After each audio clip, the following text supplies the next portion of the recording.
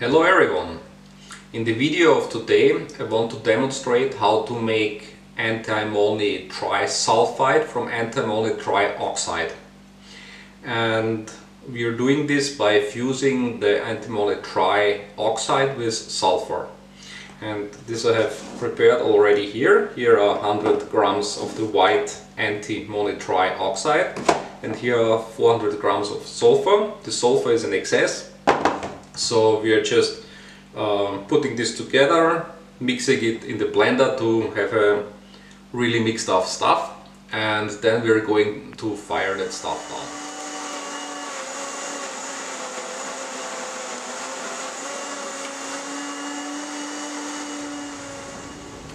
So now it's time for the fusion of the antimony trioxide with the sulfur to create the antimony sulfide.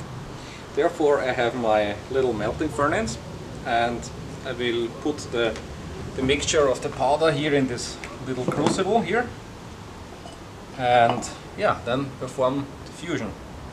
That's what I'm going to do. I'm not fusing the entire powder at once because it's actually a lot and I'm a little bit afraid that it will boil over. So I will just add uh, about 200 grams at once, do the fusion, then add another 200 grams, to the fusion, and then add the uh, last 200 grams. Um, yeah, let's try it out and see how it works.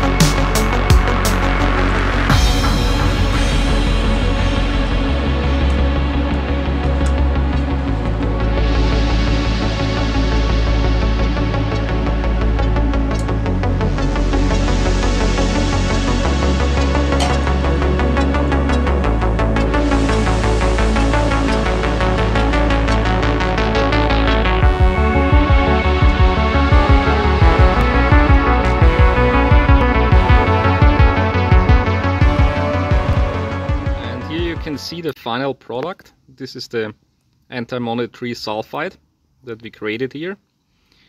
Actually, the white smoke that you have seen is an indication that um, the reaction is done, that all the, the, sulfur has volatilized. And the white smoke was already um, basically antimony oxide getting airborne.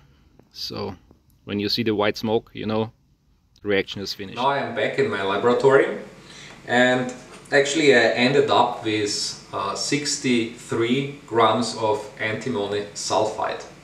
I started with 100 grams of antimony oxide, so I guess that a lot or significant amounts of material of antimony did uh, evaporate during the process. That is why it is important to really stop when um, the entire stuff starts to really smoke uh, create a lot of white smoke because that means uh, the antimony is volatilizing.